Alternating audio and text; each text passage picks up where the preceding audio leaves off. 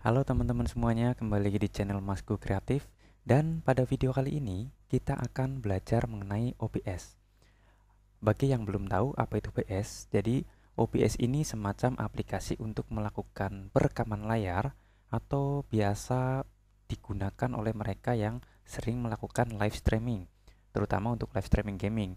Ya, sebenarnya banyak untuk aplikasi yang dapat digunakan untuk merekam layar, untuk live streaming, tapi untuk OBS ini terbilang cukup simple, sederhana, dan yang paling utama OBS ini gratis atau open source. Jadi siapa saja yang mau menggunakan OBS ini dapat di-download secara gratis di sumber resminya. Oke, ini adalah sumber resminya di OBS obsproject.com. Nah, buat yang belum tahu bagaimana cara installnya dan cara penggunaannya, sudah banyak tutorialnya disampaikan dan pada studi kasus kali ini kita akan fokus bagaimana sih membuat tampilan foto itu menjadi bulat di di OBS seperti yang kita lihat di live streaming live streaming. Oke, jadi OBS itu seperti ini. Ini dikatakan di sini, OBS ini perangkat lunak gratis dan sumber terbuka untuk merekam video dan streaming secara langsung. Jadi kalian bisa menggunakan untuk Windows, untuk Mac OS dan Linux. Oke, selanjutnya kita masuk ke OBS. Nah, buat yang belum punya OBS silahkan download gratis dan install. Langkah-langkahnya sangat sederhana. Oke, jadi um, yang akan kita bikin pada kesempatan kali ini tuh membuat fotonya menjadi bentuk yang kita inginkan. Nah, sebagai contoh, ini saya membuat frame bulat dengan gambar yang sudah saya setting sebelumnya. Jadi yang perlu kali, kalian persiapkan pertama yaitu framenya. Framenya ini menggunakan gambar hitam putih di mana posisi hitam nanti adalah posisi yang di luar. Artinya posisi hitam adalah nanti yang akan dikonversi menjadi transparan dan bagian putih itu nanti yang akan menampilkan gambarnya. Untuk kamera bisa kalian sesuaikan bisa menggunakan webcam atau menggunakan kamera yang dimasukkan ke dalam laptop atau komputer karena OBS ini sudah support dengan macam-macam video capture device mulai dari kamera atau langsung dari HP juga bisa atau menggunakan webcam. Oke. Kita atur pertama untuk gambarnya dulu. Kita mau bentuknya seperti apa? Mau bulat, kotak atau mau motif bintang atau bahkan mau mengikuti bentuk wajah kita. Oke. Di sini kita perlu menggunakan aplikasi untuk edit gambar, kalian bisa sesuaikan bisa pakai Corel, bisa pakai Illustrator, bisa pakai Photoshop atau media editor lainnya. Di sini saya menggunakan Illustrator. Langsung buka Illustratornya, kalian buka kalian buka Illustrator kemudian buat dokumen baru. Ini sudah saya buat sih, cuman saya mulai dari awal aja.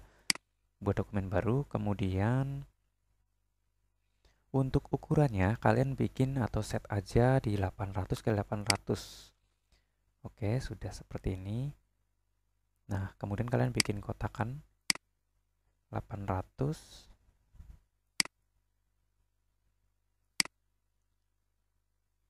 Ya, kalian taruh tengah.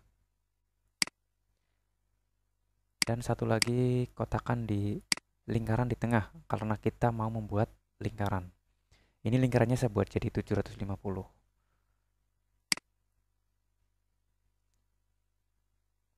Dan untuk lingkaran ini saya kasih warna putih.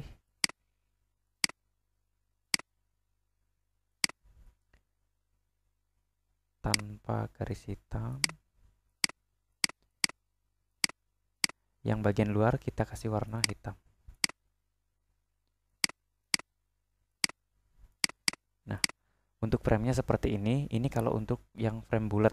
Nah nanti bisa sesuaikan untuk bentuknya. Kemudian simpan simpan bisa save as bisa export. Di sini saya export menjadi PNG formatnya. Kalian sesuaikan aja bisa PNG JPEG atau yang lainnya. Tinggal langsung save saja. Kita masuk ke penyimpanan kita di mas kita kasih nama frame atau mas OBS circle Oke, sudah kesimpan, kemudian kita masuk ke OBS-nya. Ya, jadi itu tadi untuk untuk cara membuat gambarnya cukup mudah karena kita tidak memerlukan keahlian khusus hanya perlu setting kotakan, lingkaran, atur warna, posisi udah. Selanjutnya kita akan menambahkan satu webcam lagi karena untuk webcam ini yang saya pakai utama. Saya akan menambahkan webcam di sini. Saya akan menambahkan video capture device. Kemudian saya ada webcam tipe H601 untuk nama bisa kalian sesuaikan sendiri. E, bebas. H601. Nah, kemudian di sini device pilih yang USB. Nah, ini udah kelihatan ya. Oke, kita oke ini saja. Ini dia. Nah, kita mau atur untuk untuk foto yang utama yang ini di posisinya di sini, di bawah. Tapi sebelumnya kita ubah dulu di sini dengan klik kanan. Filter. Kita pertama tambah filter untuk ngecrop dulu. Jadi namanya bebas. Kita kasih aja 40 biar agak kotak. Oke ini sudah agak kotak. Kemudian tambah lagi di sini nah pada bagian ini pilih image mask atau blend.